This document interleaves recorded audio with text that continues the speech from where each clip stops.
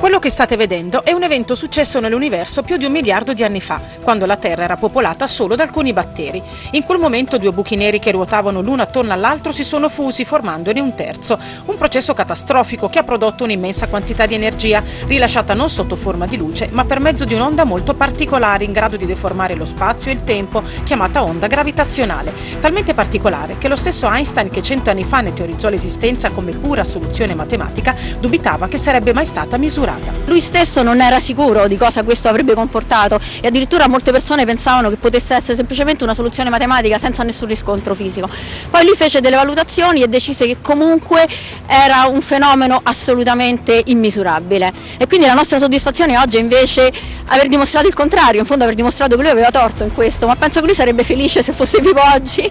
e chissà forse dall'alto ci ha anche visto. Avere misurato le onde gravitazionali apre le porte ad una nuova era per lo studio dell'universo, finora studiato solo attraverso la radiazione elettromagnetica, onde radio, infrarosso, luce, raggi X e raggi gamma, perché l'energia trasportata da queste onde fino a Terra racconta di fenomeni impossibili da vedere con gli strumenti tradizionali, come i buchi neri, che non emettono luce, fino a sollevare un velo sulla origine e sul destino dell'universo. Ma gli oltre mille scienziati autori della scoperta, guidati dal fisico Kip Thorne, non a caso consulente scientifico del film Interstellar, non escludono nemmeno la possibilità di scoprire oggetti finora solo immaginati. L'avventura è appena cominciata. Anche l'oggetto che abbiamo scoperto non era un oggetto di cui si era mai dimostrata l'esistenza, c'erano supposizioni, cioè buchi neri di queste masse, 30 masse stellari, nessuno le aveva mai viste, non eravamo sicuri dell'esistenza. E che un sistema binario di buchi neri potesse fondersi e formare un terzo buco nero, anche questo non era mai stato visto. Ma è ovvio che mettendo insieme insieme le nostre informazioni congiuntamente con quelle che vengono da telescopi, radiotelescopi, da satelliti,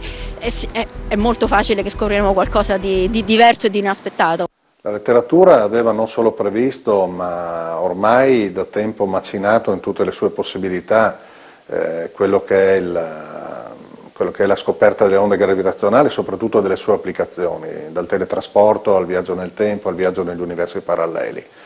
Letteratura e anche il cinema, devo dire. Un film come Interstellar, ad esempio, credo dovrebbe essere reso una visione obbligatoria per i ragazzi, soprattutto per quelli